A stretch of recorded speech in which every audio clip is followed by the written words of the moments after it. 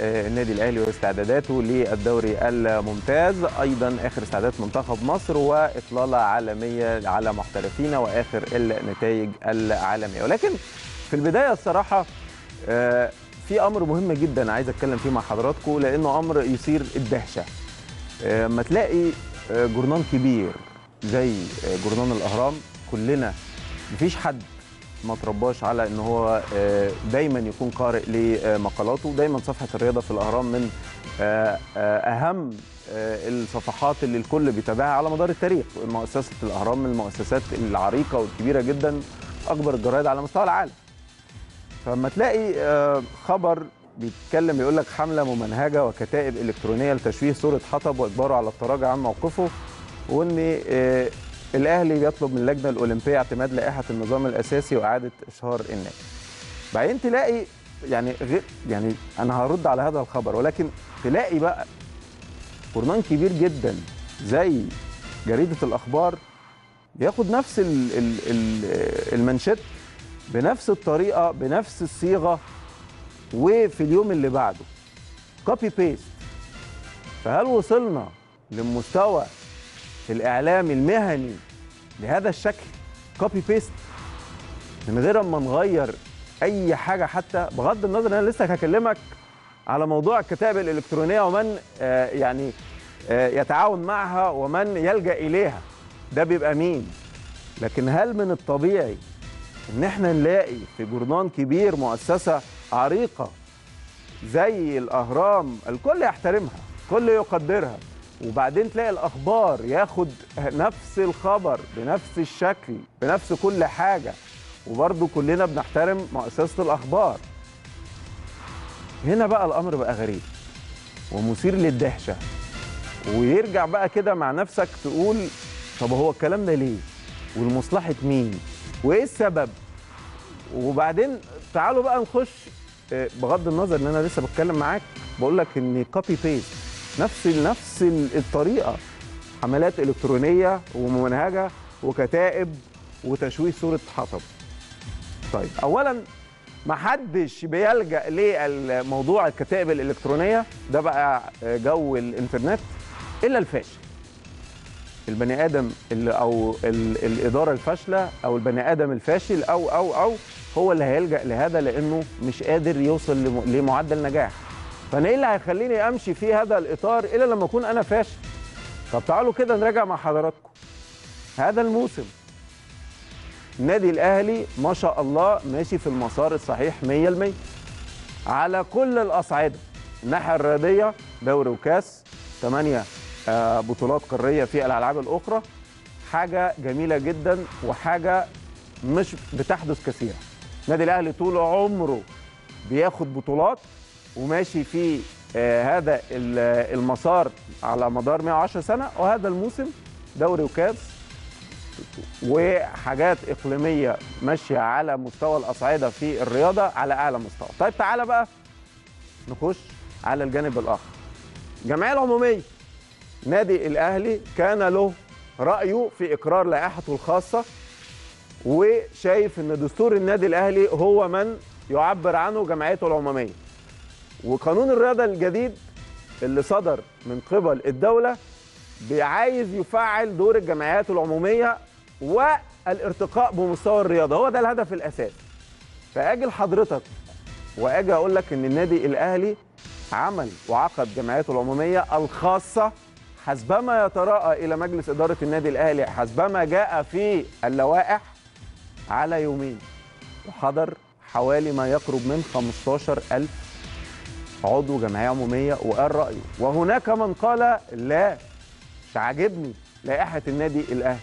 وهناك 96% قالوا آه عاجبني لائحة النادي الأهلي وعاجبني ما جاء فيها من بنود. وهناك ما من قال نعم ولكن هناك بعض من البنود يجب أن تعدل. هو ده السياق الديمقراطي وهو ده تفعيل دور الجمعية العمومية وهو ده المسار الصحيح. فإذا أنا كمشجع وراجل بتكلم معاك بالمنطق أنا ماشي في مسار صح من الناحية الرياضية وباخد بطولات بعمل فائض ميزانية فوق النص مليار وآجي فوق كل ده بقر لائحتي وبعتمدها بإشراف قضائي.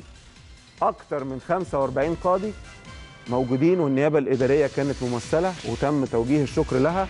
والكلام كله بصوت وصورة على الملأ الكل شاهد العملية كيف تم التصويت كيف تم حضور أعضاء الجمعية العمومية والموضوع ماشي في منتهى في منتهى الجمال ماشي بشكل صحيح.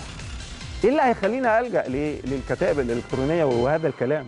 وإيه اللي هيخليني ألجأ لتشويه آه، السيد هشام حطب إيه اللي هيخليني ألجأ لكل هذا الكلام؟ مجلس إدارة النادي الأهلي ممثلا بكل من فيه من أول رئيس المهندس محمود طاهر لأعضاء مجلس إدارته نحن لسنا في صراع مع أحد كأشخاص. معالي الوزير الرياضه خالد عبد العزيز نفس الشيء. محدش طلع بتصريح واحد بيشوه صورة ولا المهندس آه، آه، محمود طاهر. طلع قال آه، أنا في صراع مع اللجنة الأولمبية أو وزارة الرياضة. كل الموضوع وكل الخلاف إن اللجنة الأولمبية طلعت لائحة استرشادية النادي الأهلي مش عاجباه. واعضائه رفضوها بعد إقرار جمعيته العمومية الخاصة وحط تحت الخاصة مليون خط ومليون بند ومليون زي ما أنت عايز. يعني دي جمعيه خاصة. واللائحة الاسترشادية جاء فيها أن من حق اللجنة الأولمبية تحديد النصاب فقط. اذا لما نيجي كده بقى نبص بنظرة كده يعني إلى حد ما متمعنة. أنا ماشي صح وموقفي قانوني 100% إيه اللي هيخليني إن أنا ألجأ لكتائب؟ وإيه اللي هيخليني إن أنا أخش في صراع؟ أنا ماشي في المسار الصح. أنا عندي بداية دوري بستعد له عندي دوري أبطال أفريقيا دور الثمانيه عندي حاجات كتير قوي أهم من إن أنا أخش في الكلام اللي بيتقال وللأسف في جرايد لها تاريخ ولها مصداقية. وجرايد قومية زي الأهرام والأخبار ما ينفعش هذا لا يصح. مع كامل الاحترام والتقدير لمن كتب هذه ال ال يعني هذه المقالات ما هو دليلك؟ أنت طالع بتكتب وبتحط منشتات طب بناء على إيه؟ لما بنيجي نتكلم في الإعلام وزي ما تعلمنا من كل أساتذتنا في موضوع الإعلام وهكلمك بقى في الأهرام هكلمك على الأستاذ هيك. أين المرجعية؟ فين دليلك على اللي انت بتتكلم عليه؟ إن انت بتتكلم من غير أي دليل وبتشوه وخلاص. انت اللي دلوقتي عايز تفتعل أزمة ما بين النادي الأهلي وما بين ال- المهندس هشام حطب رئيس اللجنة الأولمبية. انت اللي عايز تعمل الأزمة. هو ما فيش أزمة. في قوانين والنادي الأهلي ماشي على هذه القوانين. في قوانين والنادي الأهلي ماشي على هذه القوانين. موقفه القانوني 100% صحيح. مفيش اي مفيش أي مرجعية على اللي حضرتك بتتكلم عليه. على الرغم. وأنا بقول لك بقى على الرغم. الناحية الثانية تعالى كده بص اللجان الإلكترونية ماشية على مين أو شغالة على مين. في ناس ماشية بشكل وباستراتيجية وفي ناس فشلة مش لاقية حاجة تتكلم عليها. وعلى مدار موسم كامل. هذا الموسم ومن قبل هذا الموسم. تعال بص كده النادي الأهلي ماشي في أنهي خطوات؟ وماشي في إيه؟ ده من تاني يوم جه هذا المجلس الجديد بقيادة المهندس محمود طاهر اولا ما حدش حتى اداله فرصة إنه إيه الاستراتيجية بتاعته؟ ال plan اللي هو جاي يديها للنادي الأهلي. جاي يحط النادي الأهلي في أنهي مسار؟ وابتدت الحملات الممنهجة تشتغل. الناس دي اشتغلت بقى في صمت. الناس دي كان عندها plan معين من كل النواحي. الناحية الأولانية إزاي اصل على السيطره الكروية داخل المحيط الإقليمي وهو الدوري والكأس. تعالى كده بص النادي الأهلي حقق كام بطولة دوري في الفترة الماضية؟ ثلاث بطولات دوري عام. طيب بطولة كأس مصر غايبة بقالها 10 سنين. بطولة كونفدرالية لأول مرة فريق مصري يحصل عليه. اتنين سوبر مصري كل ده كل ده وصلت ل final سوبر الأفريقي بضربات الجزاء. كل ده في فترة الناس بتشتغل فيها في صمت وفي تخطيط. طيب تعالى كده على الناحية التانية. الألعاب الجماعية وصلت فيها لفين؟ وصلت فيها لبطولات قارية مش بس على الصعيد المحلي. ده انت بتاخد بطولات أفريقيا. في الألعاب الجماعية. ده حتى تنس الطاولة النادي الأهلي خد فيه بطولات أفريقيا. طب اذا مين اللي ماشي بالفكر الرياضي الصح؟ ومين اللي ماشي في اللجان الإلكترونية؟ فكر معايا كده وأنت بتتفرج وشوف مين اللي رايح فين. مين اللي رايح في ناحية اللجان؟ ومين اللي رايح في ناحية الهجوم الغير مبرر والغير منطقي والغير واعي واللي ما عندوش أي مرجعية؟ ومين اللي ماشي في المسار الصحيح؟ ودايما بص على نفسك. أين أنت عشان تعلم فين المسار؟ ب...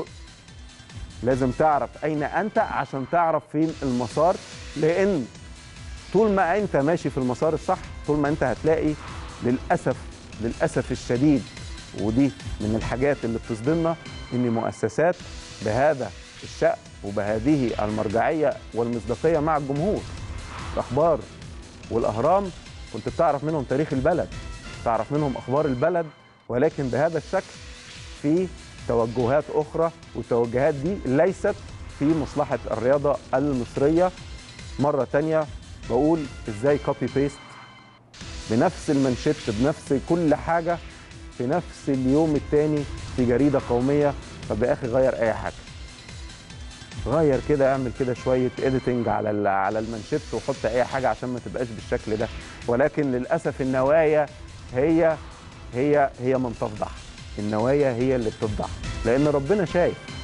ربنا شايف مين اللي بيشتغل ومين اللي عايز يدمر. نادي الأهلي فوق الجميع. الكيان أهم من الأشخاص. وهو ده اللي حصل في الجمعية العمومية اللي انعقدت على يومين 15000 اللي حضروا ما كانوش جايين عشان خاطر شخص. جايين عشان خاطر الأهلي فوق الجميع. مش جايين عشان خاطر يساندوا شخص أو مجلس. جايين عشان خاطر مستقبل النادي. ولكن في ناس في ناس تانية مش شايفة كده. في ناس تانية شايفة إن هم لازم يتكلموا خلاص لأن مش لاقيين حاجة. ما هو ما شاء الله النادي الأهلي بيكسب. هتكلم في إيه؟ قال لك أصل المدير الفني بتاعه ما بيضحكش.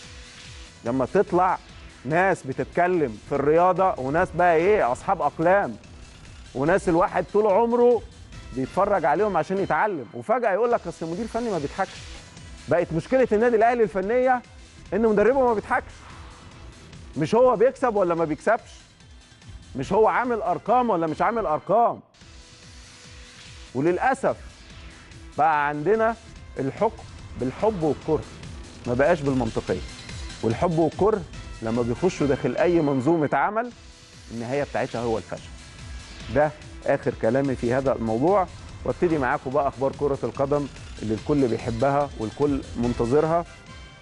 كابتن حسام البدري في بداية استعداده للموسم الجديد مباراة طلائع الجيش أول مبارياته إن شاء الله يوم 8 سبتمبر هيبقى يوم جمعة.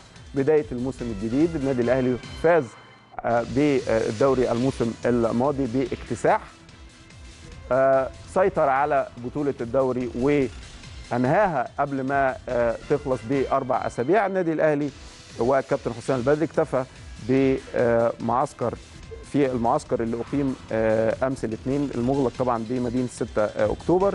واكتفى الكابتن حسام البدري بتمرينة واحدة وقال إن هو خفف الأحمال البدنية على اللاعبين خلال مران اليوم. وكان جونيور اجاييه عاد مرة أخرى إلى واللي عاد مرة أخرى للفريق عمل تدريبات منفردة وكان اجاييه انتظم بعد العودة والراحة. وفي نفس الوقت قرر الجهاز الفني إقامة مران يوم الثلاثاء على فترة واحدة في إطار المعسكر. وعمل هذا اليوم الواحد في مرة واحدة في اليوم عشان تخفيف الحمل. النادي الأهلي في الفترة اللي فاتت كان في تمرينات على يومين. على عفوا على فترتين فترة صباحية وفترة مسائية. وهنا الكابتن حسام بدري عشان اشرحها لحضراتكم للناس اللي ممكن ما بيبقاش واصل لها ليه بيبقى في فترتين وفي فترة واحدة بيبقى في تقسيم على الحمل البدني. على مدار الأسبوع بيجي الكابتن حسام البدري مع أخصائي الأحمال وأيضا أخصائي التغذية. بيجي يتكلم على إزاي نوزع الحمل على مدار الأسبوع. أنا عندي في الأسبوع من حوالي أربع أو خمس أيام أو ست أيام تمرين. هستفاد منهم وأوزع الحمل إزاي عشان على آخر الأسبوع أكون فرقتي جاهزة لبداية الأسبوع اللي يعقبه وفي لقاء ودي إن شاء الله يوم الاربع أمام نادي النصر فالنادي الأهلي لازم قبل المباراة هيكون طبعا يوم الثلاثاء هي آخر تمرينة قبل اللقاء فلازم ينزل بالحمل التدريبي عشان في خلال اللقاء هيبقى في الحمل على أعلى مستوى من العلو. كابتن حسام البدري بيجهز لفريق طلائع الجيش. الناس كلها بتتحدث عن الترجي ولكن الأهلي هيواجه الجيش قبل الترجي بداية موسم جديد. النادي الأهلي دائما يلعب إلى البطولة. نادي طلائع الجيش الصراحة عمل بعض من الصفقات المهمة. عودة صلاح أمين مهاجم طلائع الجيش السابق والإنتاج الحربي. أيضا التعاقد مع علي الفيل المدافع من حرس الحدود. أيضا التعاقد مع محمد طارق أبو العز من المقصه وأحمد الشيخ ولكن أحمد الشيخ من الاتحاد. دي كانت أبرز صفقات طلائع الجيش اللي عملها في في خلال الانتقالات فترة الانتقالات الصيفية عشان يجهز بها نفسه للموسم الجديد. عايز أفكر حضراتكم إن النادي الأهلي فاز على طلائع الجيش في الدور الأول الموسم الماضي 3-0 وفي الدور الثاني 2-1 والهدف الشهير لميدو جابر اللي كان في اللحظات الأخيرة وكان من أهم محطات النادي الأهلي في خلال الموسم الماضي لأن كان اللقاء طبعا مثير وكان التعادل حالة التعادل هي اللي سايبه وغالبه على اللقاء ولكن الهدف الشهير بتاع ميدو جابر إدى النادي الأهلي ثلاث نقاط كانت غالية.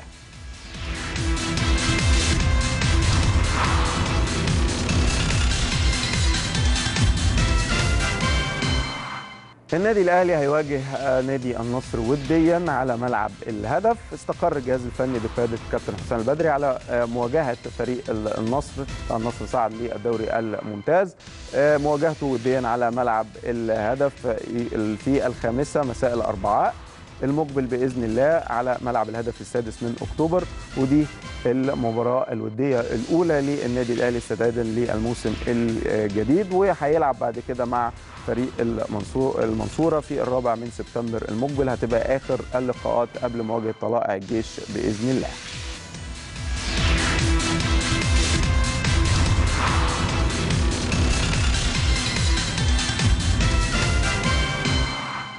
اكمل اخباري مع حضراتكم على أخبار النادي الأهلي والفريق الأول. كابتن حسام البدري قرر منح لاعبي الفريق راحة في أول أيام عيد الأضحى المبارك كل سنة وحضراتكم طيبين. الجهاز الفني طبعا ده العامل المعنوي والعامل النفسي ودي من الحاجات اللي بتفرق جدا مع اللاعبين. عنصر العامل المعنوي من أهم أهم أربع عناصر في كرة القدم. الجهاز الفني بقيادة الكابتن حسام البدري أعطى للاعبي الفريق راحة من التدريبات يوم الجمعة المقبل أول أيام عيد الأضحى ويستعد النادي الأهلي زي ما قلت لحضراتكم لطلائع الجيش. هيعودوا تاني يوم مباشرة بعد بقى مواضيع الذبح وطبعا قضاء أول أيام العيد مع الأسرة. ثم يعودوا مرة أخرى للانخراط في التدريبات استعدادا لمواجهة المنصورة وديا. ثم طلائع الجيش في أول لقاءات الدوري الجديد.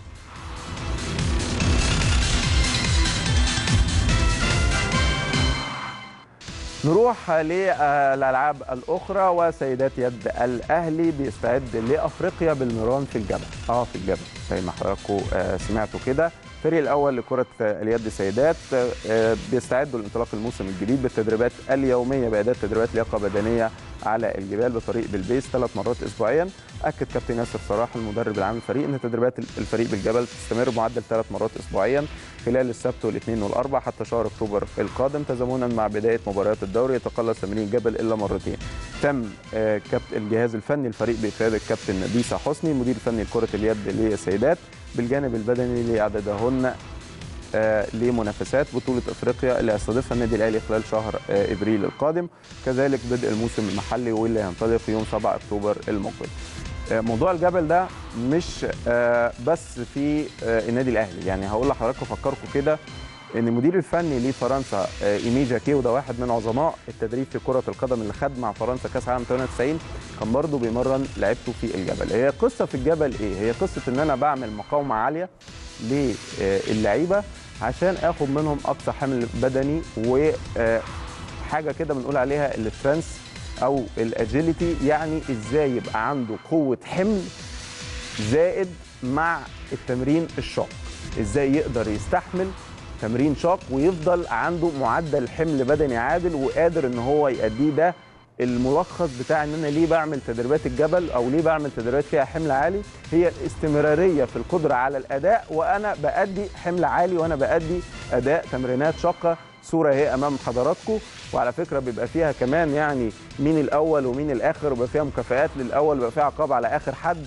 وكلنا وإحنا لعيبه كان عندنا هذا التمرين ولكن بيبقى في ال... كان كانت بتبقى في المدرجات. ولكن في هذا الشأن بيبقى فيها جانب تحفيزي بيبقى فيه منافسة ما بين اللاعبات وما بينهم وما بين بعض. وزي ما لخصت لحضراتكم إن أنا إزاي آخد من اللاعب أقصى حمل عنده وإنه يستمر في أدائه لمدة زمنية وإزاي يحارب بقى موضوع اللاكتيك أسيد. ودي حاجات من الحاجات اللي هتكلمها مع حضراتكم في حلقات أخرى لأن ده موضوع مهم جدا في موضوع التدريب. ولكن ده بيبين لك قد إيه النادي الأهلي مهتم بانه يحافظ على السيطرة الإفريقية في كرة اليد والألعاب الأخرى.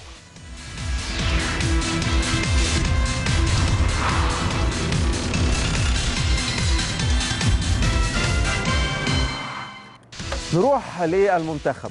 نروح لحلم التأهل لروسيا 2018 حلم تأخر 27 عاما.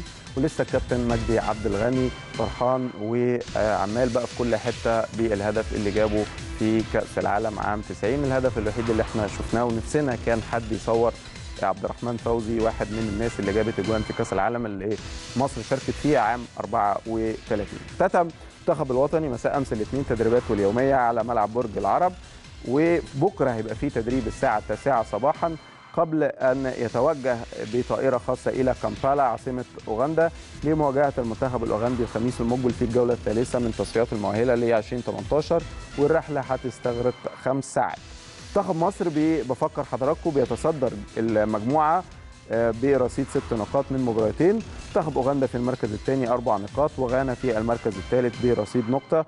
والكونغو برازافيل تتزين المجموعة بلا نقاط. عفوا. وبعد ما يوصل منتخب مصر إن شاء الله هيقيم مران رئيسي في الثالثة عصر الأربعاء المقبل بتوقيت القاهرة. وده نفس موعد المباراة يوم الخميس المقبل بإذن الله.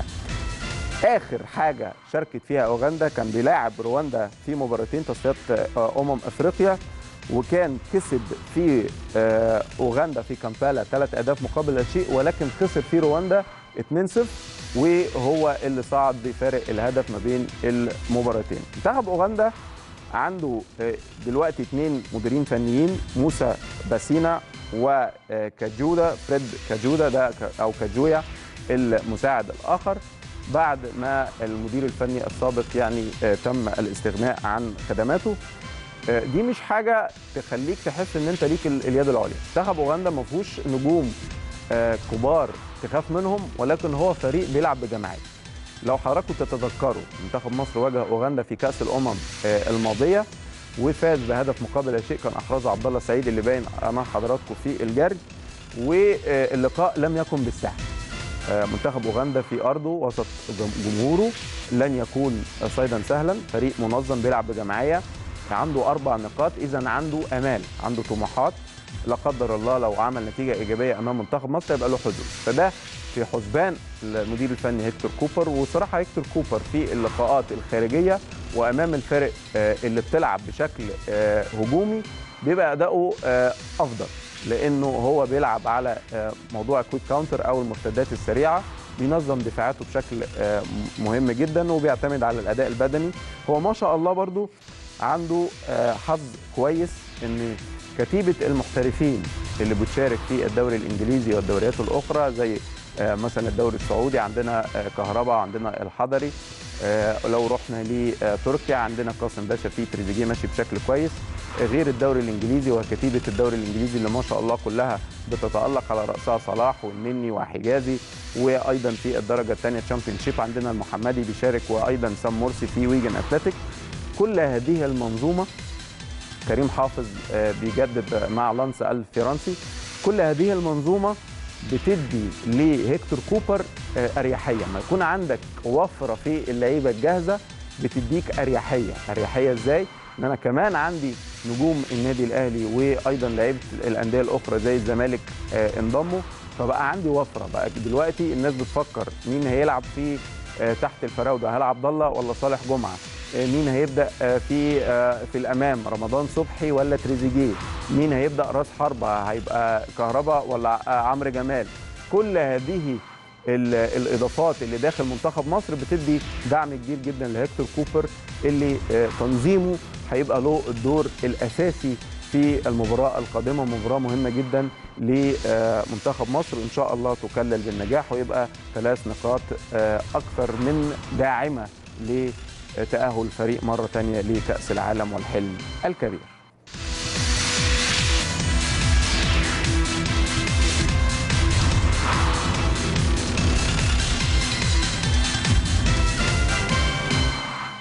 هروح بحضراتكم من أوغندا وكامبالا إلى مدريد. هروح إلى حضراتكم إلى نجم جديد اسمه ماركوس اسونسيو صراحة هو واحد من النجوم اللي فرضت نفسها على الساحة واحد من النماذج اللي لازم نقولها للاعبينا إن واحد نجم كبير جدا موهبة كبيرة جدا ولكن صبر وبعد ما صبر نال. نال إشادة الجميع نال إن هو دلوقتي بيهدد عرش جاريث بيل في قيادة البي بي سي في الأمام. بي بي سي طبعا بنزيما وجاريث بيل وكريستيانو رونالدو. جاريث بيل في الفترة الأخيرة مش هو جاريث بيل. جاريث بيل ابتدت جمهور ريال مدريد تصفر عليه وتبتدي تديله صافرات استهجان. هذا اللاعب الموهبة الجوهرة مواليد مدينة بالما في مايوركا خريج أكاديمية كرة القدم في مايوركا الذي انتقل إلى ريال مدريد في 2014 ولكن لم يأخذ فرصته. فتم إعارته إلى إسبانيول. عفوا تم إعارته إلى مايوركا ثم عاد ثم تم إعارته إلى إسبانيول وإسبانيول ده النادي المنافس لبرشلونة. فنادي برشلونة حاول كثيرا في الحصول على خدمات هذا اللاعب اللي سجل امبارح هدفين ولا أروع من كده أمام فالنسيا. و في الأخير عاد مرة أخرى إلى ريال مدريد. ولكن حينما عاد عاد مع زيدان. وزيدان واحد من المواهب اللي لا تتكرر كثيرا وهو بيعرف إزاي يتعامل مع المواهب. إدى أسونسيو زي ما إدى لإيسكو زي ما إدى للعديد من العناصر الشابه وحول لك فريق ريال مدريد إلى فريق جماعي. بيعتمد على المواهب. ماركوس أسونسيو لعب لكل المنتخبات لسه واخد بطولة أوروبا تحت 21 سنة مع مع عفوا وصل لل final مع الفريق الإسباني وهزم أمام ألمانيا. ولكن هو من اللعيبة اللي دائما بيدوا الإضافة لأنه لعيب على أعلى مستوى يمتلك العديد من من الحلول. رجليه الشمال عارفة طريق المرمى. شفنا حينما سجل في لقاء السوبر كلاسيكو أمام برشلونة رجليه رايحة إزاي؟ حتى الحارس تيرشتيجن كان بيتفرج على الكورة. ونفس الشيء شفناه امبارح وهو بيسجل في فالنسيا. الهدف الثاني والهدف الأول برضه تسديداته بقدمه اليسرى. عارفة مكانها كويس قوي. وفي في الفترة اللي جاية سألوا كريستيانو رونالدو حينما أخذ جائزة أفضل لاعب في أوروبا مين قادم؟ قال لهم ماركو اسونسيو واحد من اللعيبة القادمين في سماء الكرة العالمية بالإضافة إلى بعض النجوم ولكن ماركوس اسونسيو كان أول من ذكروا النجم الكبير كريستيانو رونالدو.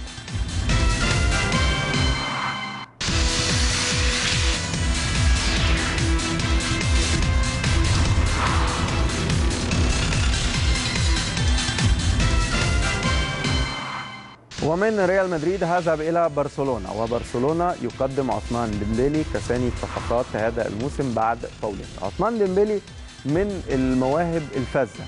هو موريتاني الأصل فرنسي الجنسية. كان يلعب في فريق بروسيا دورتموند والصراحه عمل موسم أكثر من رائع. وما تعرفش هو بيلعب بأنهي رجل يعني رجليه اليمين زي الشمال حاجة جميلة جدا. مع دورتموند في 50 مباراة أحرز 10 أهداف وصنع 22 أسيست. وهو ده اللي دفع فريق برشلونة إنه يدفع 105 مليون يورو عشان يحصل على خدماته. لعيب في كل المنتخبات وأخيرا شارك مع الفريق الأول للمنتخب الفرنسي اللي فيه كتيبة من النجوم ولكن هو واحد من المواهب القادمة بسرعة الصاروخ. وأول تصريح ليه قال أنا الآن في أفضل نادي في العالم. كان في كلام كتير جدا إن هل هيستطيع برشلونة إنه يتعاقد معاه أم لا. برشلونة عنده فلوس كتير جدا بعد صفقة نيمار ومن قبل صفقة نيمار وده كان أول الصفقات اللي بيحاولوا يعوضوا بيها رحيل نيمار الاضافه إلى إن هم اقتربوا كثيرا من ضم اللاعب ليفربول باولو كوتينيو.